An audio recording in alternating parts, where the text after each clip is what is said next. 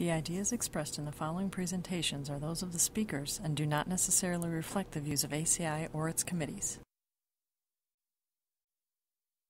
ACI web sessions are recorded at ACI conventions or other concrete industry events and will be made available for viewing free of charge for one week.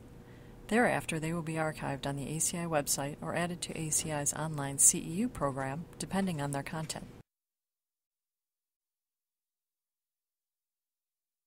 You can earn continuing education credits through ACI's online CEU program. Visit www.concrete.org to register. ACI conventions provide an opportunity for networking and for keeping up to date with the latest in concrete technology and practices.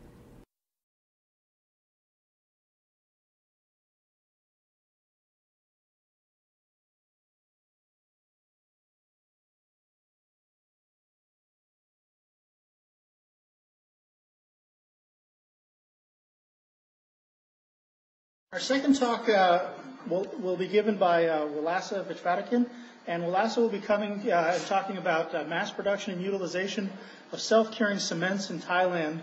Uh, is a, a, senior researcher at Siam Research and Innovation in Thailand. She's uh, received her BS at Cornell and her uh, doctoral degree from Princeton, um, and is a member of a whole range of ACI committees, and I won't try to list all of the ones uh, that she's uh, she's involved in, but she has an active uh, research group and research interests in microstructure and durability. And pretty much, if you're at an international meeting looking at internal curing, you are going to run into Team Siam, and they're going to be there uh, because they're they're actually doing quite a bit of interesting work on this.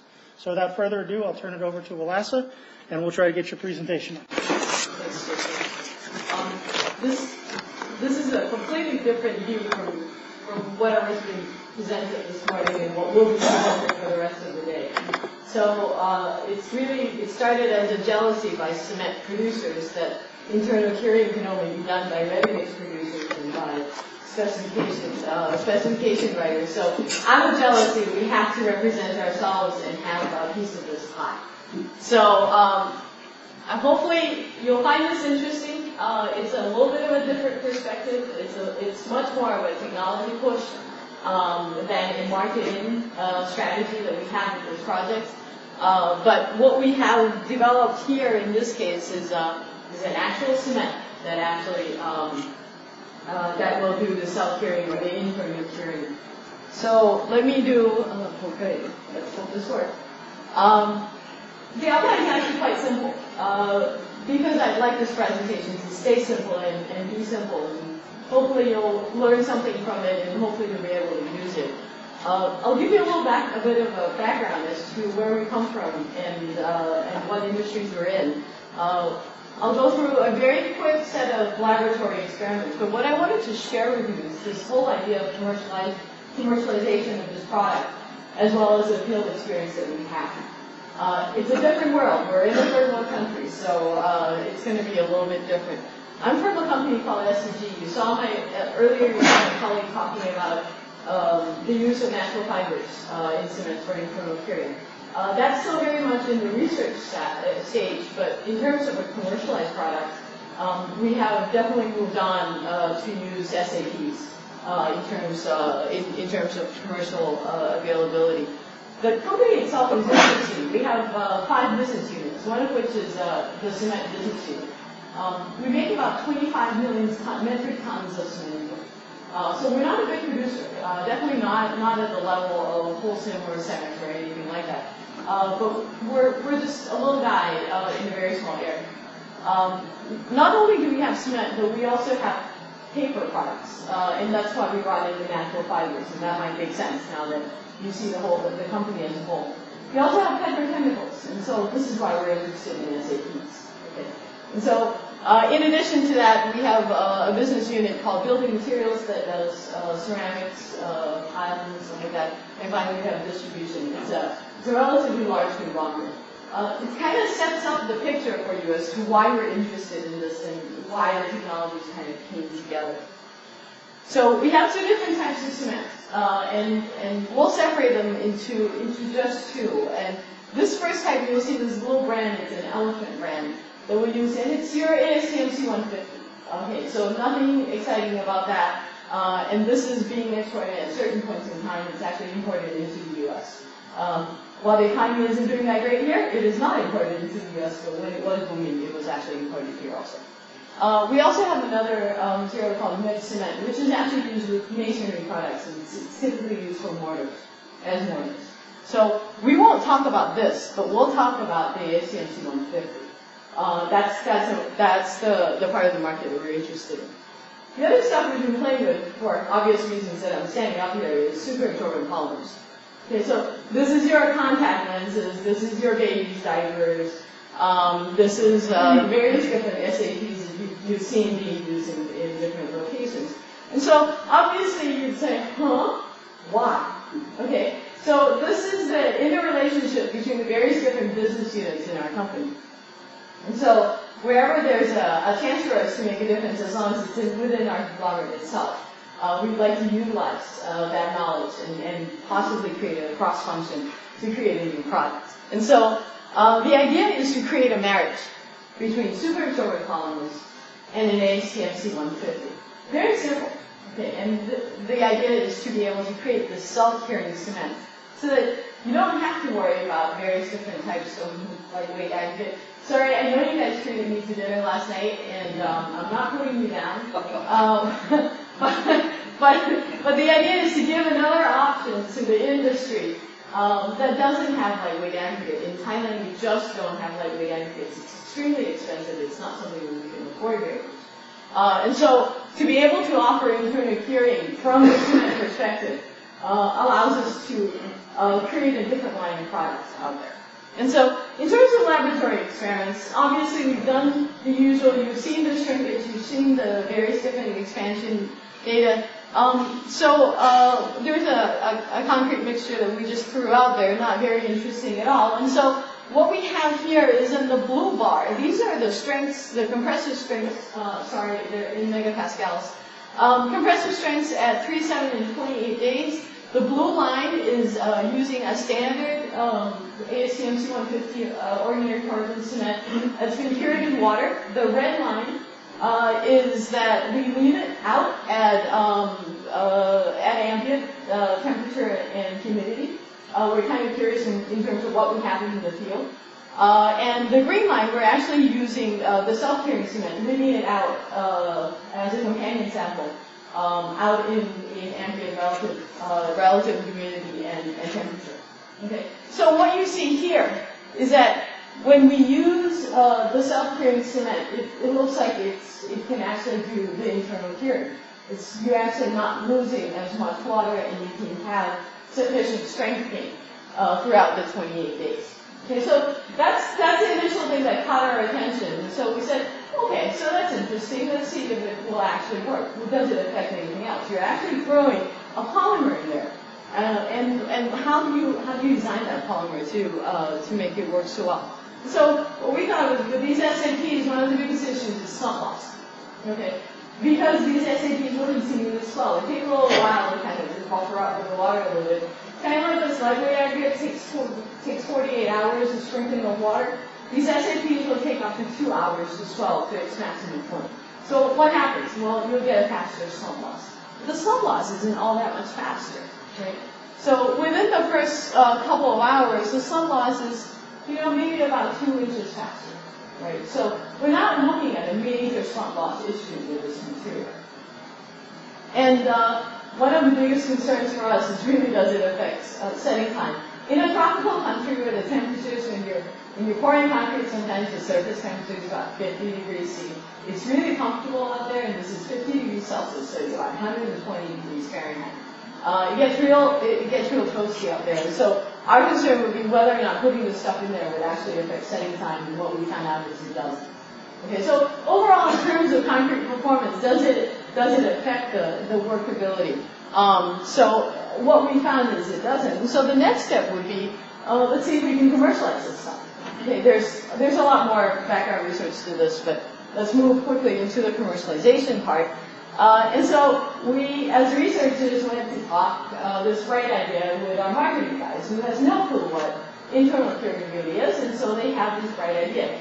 if you actually want to do internal curing, you want to see the effectiveness of internal curing, why don't we sell it to this particular market? In this particular market, this is uh, the idea is your um, their rice drying paddies. And so you get acres and acres of concrete pavement where every morning they will spread rice onto the concrete pavement. Um, and it will get hit by uh, sun and just like wind, and it will drop. Basically, you're trying, you're air drying um, the, the rice to remove the husk from the, to remove the rice from the husk itself. Okay, so wonderful condition. This is when you're drying rice. You've got high temperatures and light wind all the time. What a great location to be pouring concrete and not cure Right? So they said, let's just throw it into this particular market, and that's what we did. We said, that's perfectly fine. We didn't really see the construction practices before we got there. However, it is being sold in there, so it works, kind of. So cement in this particular market is not sold by ready-mix producers. And what we discovered was when we got there, it wasn't sold to ready-mix producers. However, it is sold as big bags. These are one-ton bags. Okay, one, one metric ton bags of cement. And how it's used is even more interesting, and, and if there's a ready-mix producer in here, you can have a good laugh over this. Um, so the bag itself, uh, actually, this is not coming up in the right sequence. Let me do this. So the truck, the ready-mix truck, is used as your mixer. Uh, it goes up to this pond, and uh, we suck water, naturally occurring groundwater, out of the ground, and put it in this mix, it, put it in the truck. They come in, and then you load the cement, and basically you strip the bottom of these big bags straight directly into um, this um, uh, this five cubic meter uh, truck. And then, uh, and, uh, and you've got the backhoe kind of just pouring the aggregates and uh, the, the coarse and the fine aggregate in it. You would never think that this is anything near scientific, right? Okay, so we were shocked to see this whole process, but we said, okay, we're confident in our cement. We don't think it's really gonna, uh, it's really gonna affect anything. We were surprised at the outcome. And so this is this is very unconventional. You'd never think this works. Uh, and the travel distance between usually these aggregate piles and where they're pouring is about 100 meters. You've got less than a minute of mixing. It's really incredible that it works. And so, okay, the process itself is the truck comes in, dumps the cement. This is a particularly good picture because everyone was wearing shoes. Uh, typically they don't. Uh, again, this is in Thailand. Um, and so you see you see that these guys are actually bringing the steel mesh in, so the concrete is poured. It's not really compacted, it's just kind of scraped in there.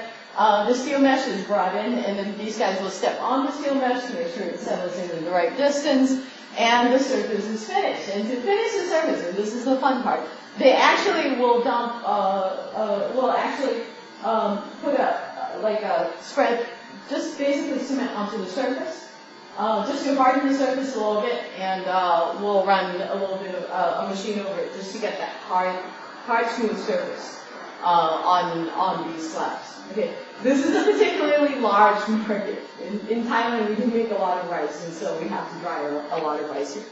And so, okay, so now you're thinking, uh, very good cement in a very substandard concrete production um, capability. And so we were surprised at what the field results were like. Okay, so typical site layouts, usually the slabs are about 5 meters uh, in width and uh, in typically 10 to 15 meters in length. Okay, so no joints in between, they'll just pour these strips of concrete. Um, so we were, first of all, okay, so this is completely uncontrolled, we've got the backhoe putting in the various different aggregates. You would never think that the slump was actually reproducible.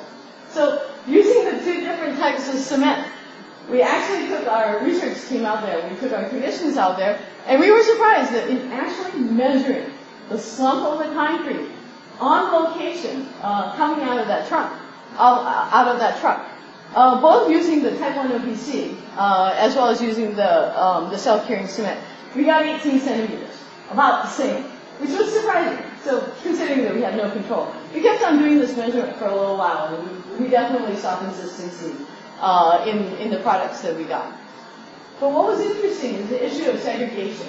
Once you actually put these SAPs in there, it manages water a lot better than if you weren't to, if, if you weren't to put any SAPs in there at all. And so the issue of segregation uh, really comes up when you're using a type 1 OPC. Okay, so because you don't mix it very well, uh, you're actually using a, a, concrete truck to mix it, which is not your ideal mixer at all. Um, you're mixing it for less than a minute. Okay? So everything says you shouldn't be able to mix it very well. And so typically as you would get, you would get segregation of the concrete that comes out.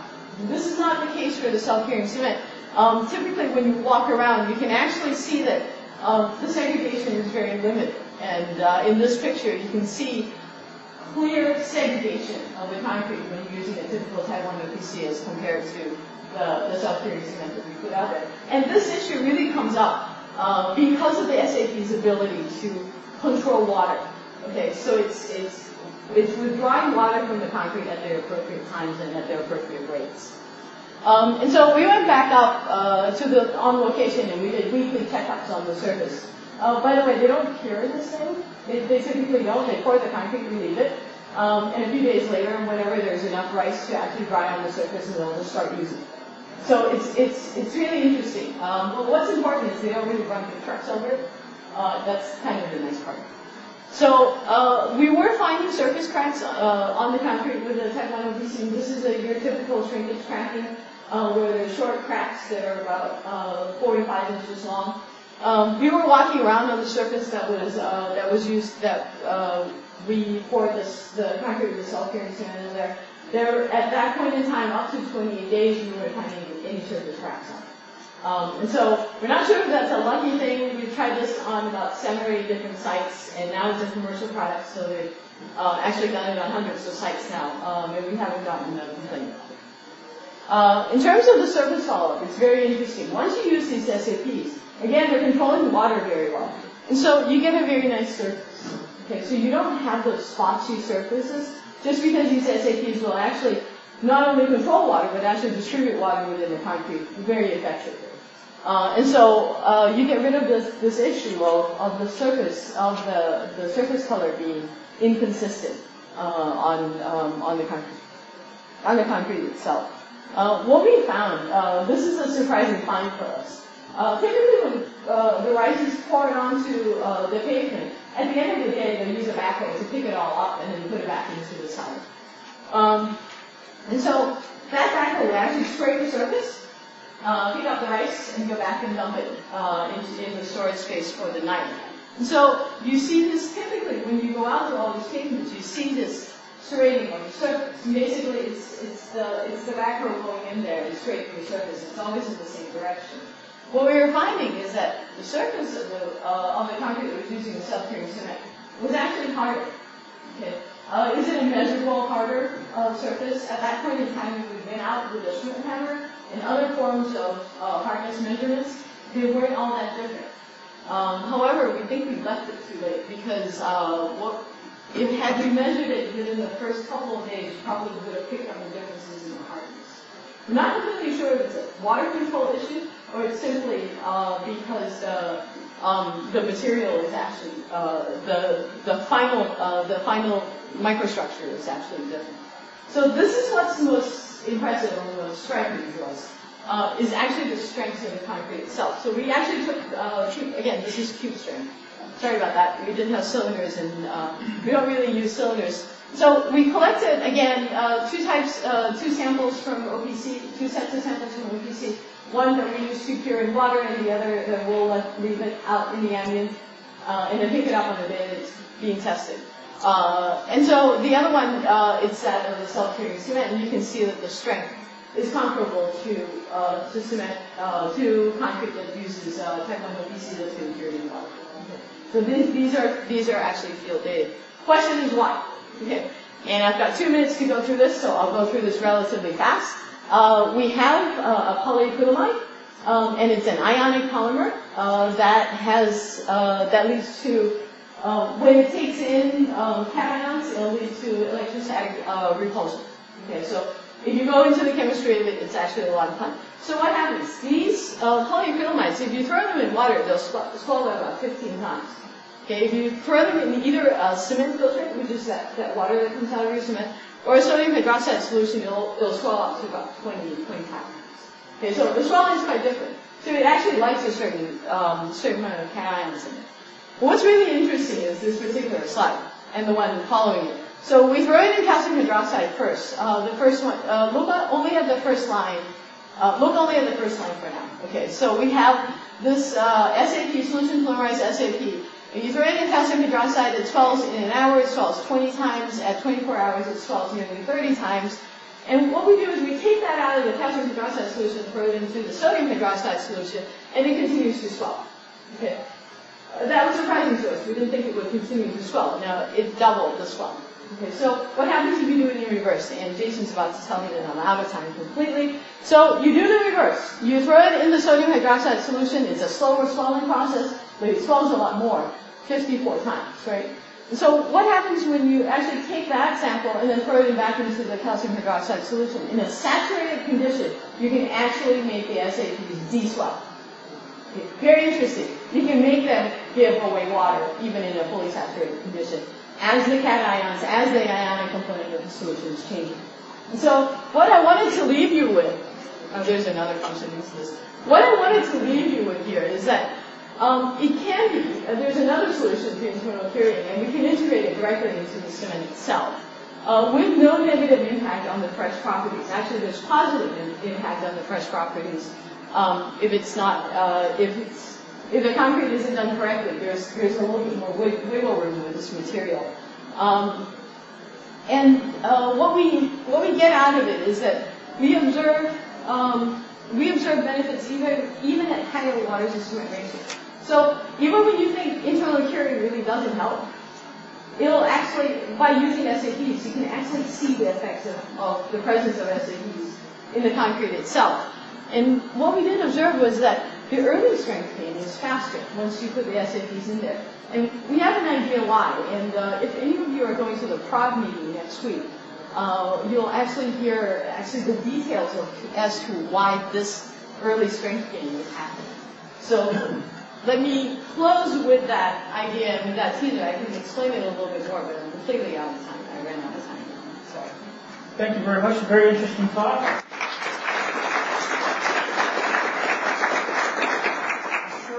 Questions? So dumb probably. I think there's three people who just went out and make a phone call to start selling lightweight aggregates for rice, um, corn, corn slabs. Uh, go ahead. Corn. Are your SAPs going to be available, or your RFPs going to be available sometime Uh, this is all, this whole idea is all in pilot. Um, in terms of SAPs, SAPs are available, polyacrylamides are available anywhere. This is, this is, this is, anything from, from your contact lenses to your diapers, and we're not using anything, we're not making our own SAPs for commercial production. We're actually getting a commercially available SAP and using it in our cement. Um, and so, in terms of what's available, uh, it, it can certainly be available. There's got to be some other cement producer. We don't produce cement and we don't sell it into, into the U.S. and the Canadian market. Um, it's available where we are in. It's just, unfortunately, not available U.S. Why? Other questions? Go ahead. So the, the SAP, is it underground in this cement, or is it No, no, it can't be underground. added like? Yeah. Yeah, it can't be underground. Um, the temperature of grinding right now is 80, 90, 100. Some are grinding at 150, which is ungodly. Um, it can't be underground at those temperatures. They're polymers. They really don't like high temperatures very much, and they get kind of sticky. Uh, and so most of the cost that, that is used, most of the increase in cost into producing these, the self-curing cement is actually taking it through another process, usually the separate grind process. So it goes through another mixing um, to create this particular cement. So the cost of SAPs isn't expensive at all. It's it's the issue of having to mix it again and create that creating that homogeneity in the cement um, before we send it out. So uh, so it, it can't be integrated. We ha- we haven't found a way. The temperatures are just too high. Other questions? Okay, well, Oh, no? Hi, well, congratulations, was a very nice presentation. And just uh, maybe a comment regarding on warehousing, this type of combined cement with, you know, the SAP. Um, Like, we understand we have to take care of the, on the pure of warehousing because of the humidity uh, issues. So what do you comment on? Okay, so uh, typically uh, in this this particular market it's not ideal. Uh, so what I've shown you is this particular market doesn't. It's it's really not your typical market anyway. Typically when we use it in ready mix um, in ready mix operations, it goes into a, it goes into a silo. Actually, it stays in the silo in our cement plant also, um, until the day on the discharge and the are taken. Uh, the timing to use these big bags, it really stays in the big bags maybe no more than 36 to 48 hours. So it's actually a very short time period that it stays in the big bags. I mean, you would take care of it, you would have to take care of the cement, uh, the same way you would take care of a sand radius CNC and 50 C. There's no difference in that. Once again, thank you very much for a very interesting talk.